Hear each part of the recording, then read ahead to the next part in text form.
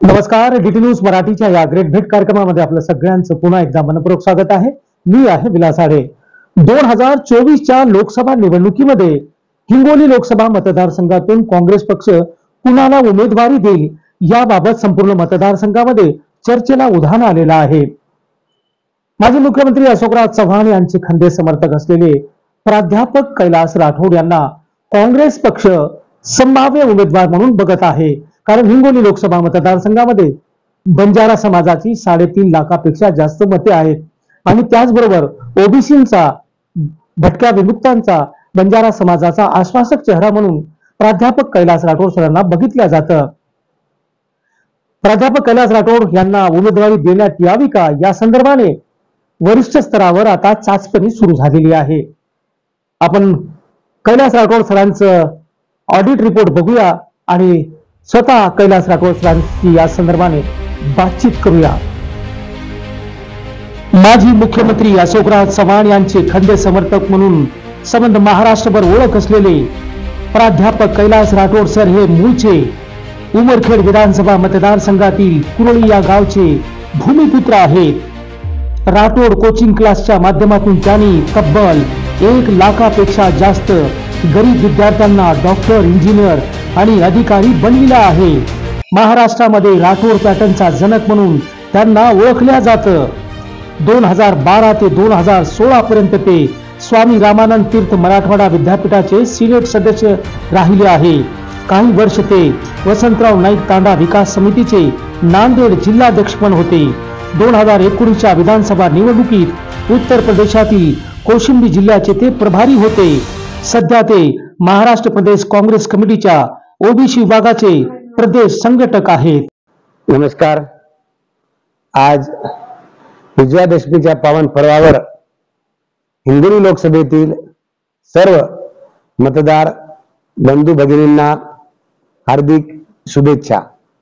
आपले आगामी वर्ष सुख समृद्धीचे भरभराटीचे भरपूर यशाचे जाओ अशी या पावन मुहूर्तावर ईश्वरचरणी प्रार्थना करतो. हिंगोली लोकसभा हा मतदारसंघ ओबीसीचा बालेकिल्ला राहिलेला आहे.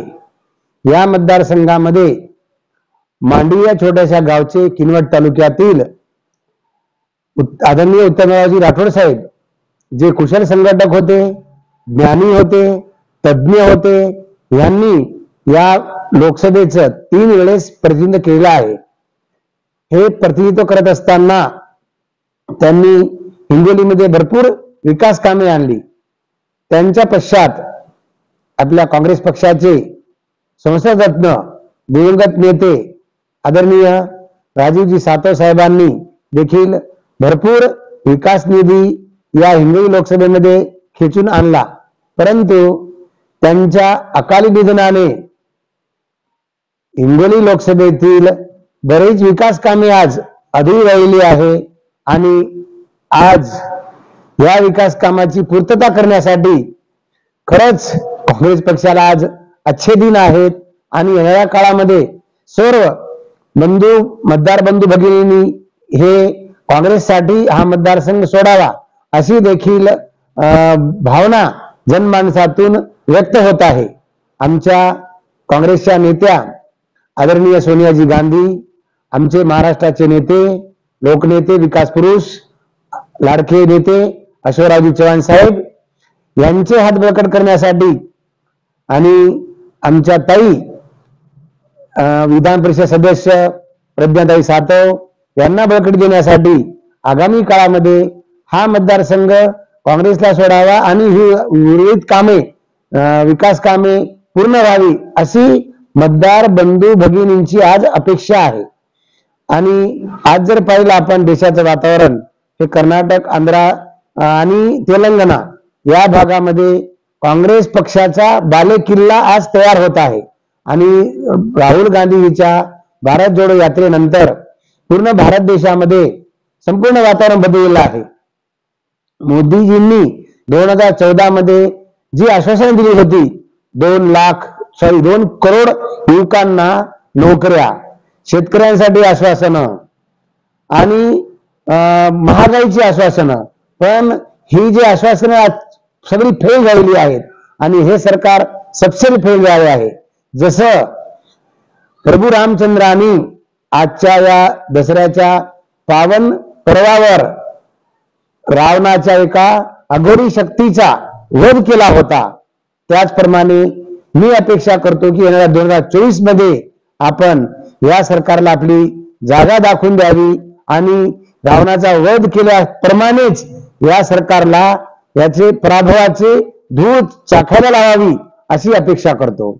दुसरी महत्वाची बाब म्हणजे हिंगोली लोकसभा ही जर आपण बंजारा समाजाला सोडली तर याचा प्रभाव याचा परिणाम पूर्ण भारत देशावर येणाऱ्या निवडणुकीमध्ये होऊ शकतो. आणि जो एक करोड बंजारा आज महाराष्ट्रात आहे आणि पंधरा करोड जनता जे भारत देशात आहे या जनतेपर्यंत एक खूप चांगला संदेश जाऊ शकतो. आणि येणाऱ्या काळामध्ये काँग्रेस पक्षाला आपण अक्षरी येण्याचा आहे इंडिया आघाडी जिंकणाराचा आहे. आणि हा पूर्ण पंधरा कोटी समाज आणि मराठी एक कोटी समाज हा काँग्रेस पक्षाच्या पाठीशीच राहील अशी पण मी अपेक्षा करतो. आणि आमचे जे पक्षश्रेष्ठी आहेत यांनी देखील या गोष्टीवर लक्ष देऊन महाराष्ट्रामध्ये एक लोकसभा कमीत कमी एक लोकसभा बंजारा समाजाला देण्यात यावी अशी अं, मागणी कानाकोपऱ्यातून मतदारसंघातून होत आहे याचा विचार आगामी काळामध्ये व्हावा. एवढं बोलतो मी. आणि परत आपल्या सर्वांना या दसऱ्याच्या पवन मुहूर्तावर शुभेच्छा देतो. नमस्कार.